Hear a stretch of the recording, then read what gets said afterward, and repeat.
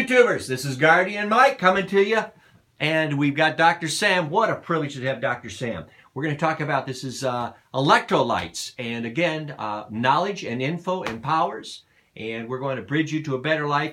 We're going to talk about what is the issues with electrolytes. How are you as a decision maker or an aging boomer helping out, trying to avoid guardianship, trying to help the disabled, help people who are suffering with dementia what do you do with electrolytes? How do you ask the right questions to the physicians, to the nurses? How do you talk in a care plan, uh, participate in a care plan at a conference, care conference? This is a snippet. It's meant to be a three minute electrolyte introduction. Dr. Sam, tell us everything you know about electrolytes in three minutes. Electrolytes are very important because a lot of medicines affect your electrolytes. Primarily, medicines that has that affect your fluid. So diuretics in particular and also heart medicines and other things that can uh, cause a change in potassium. Of your electrolytes that's most common, the most common time you really have sudden changes in electrolytes is when you have IV. and as you know, in any serious illness, you almost always have an IV, and things like pneumonia where you have IV antibiotics over a long period of time, whether that's in the nursing home or in the hospital, both, you're going to have changes in your electrolytes and they have to be monitored regularly. Primarily when you talk about electrolytes, you're talking about three major ones, potassium, sodium, and chloride.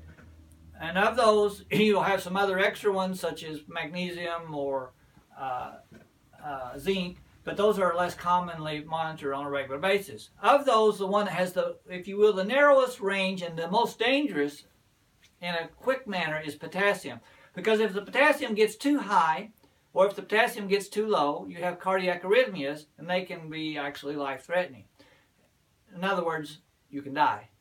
And so, uh, you have to monitor them. And a lot of your diuretics for blood pressure, a lot of your blood pressure medicine, some of them make you hold onto your potassium, which means your potassium will get too high, and some of them leach out or get rid of potassium, which means your potassium can get too low. And if you give a lot of volume, like in an IV, you'll dilute your potassium and your potassium will drop. And if it drops under 3, basically, you can start having problems. If it gets down under 2.5, you can go in cardiac arrhythmia. So the high end is only 5 that range is very narrow. It's very small. Normally your body watches it close. But if you take medicines or you take fluids that really change the dynamics that your body normally has, you can get in trouble. So those are questions you should be always watching for anytime someone is on medicines that affect your potassium. So I'm in the hospital. I've got an aging parent or I've got a disabled child that has pneumonia. Pneumonia has lots of IV fluids going into yeah, that body, right? Lots of fluids. Potassium should come to mind. Potassium should be something that the doctor will actually be monitoring. And if you act, if you want to ask the question that he knows that you're watching things, you can ask about the potassium. How would you? What was the question you'd like to hear from your patient's family if they're unconscious in pneumonia state and uh, they're getting lots of fluids? What do you want to hear? What kind of I questions want, that are polite? You, you can politely ask. Move the say, cheese for you me. You can say,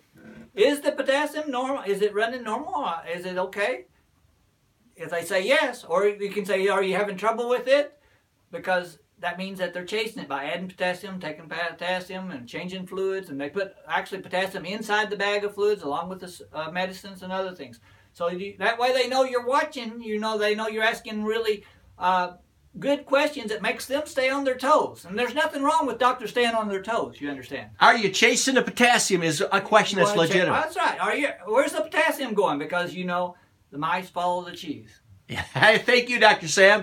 I hope this has been helpful. Don't forget to subscribe, like us, and down below, share your questions that have worked for you regarding electrolytes, regarding diseases that require lots of fluids, okay, and uh, fluid management also, don't forget to uh, click, and this is a collaboration with Dr. Sam. He's got a Facebook. Dr. Sam has a website, Reach. Don't forget to link onto that and like it, subscribe to what he's got going on there, and make some comments and share. And if you're ever in the Philippines, you might want to drop him a line or say hi or connect. Uh, Davao City is an area that you are been known to be in. Can I say that? I yes. think. Yeah.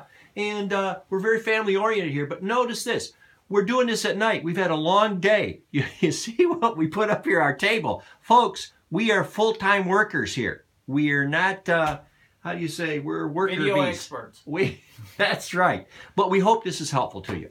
And we do care about you, and we're empowering you to talk with the people in your world so that you can bridge to better and uh, make it better for your family.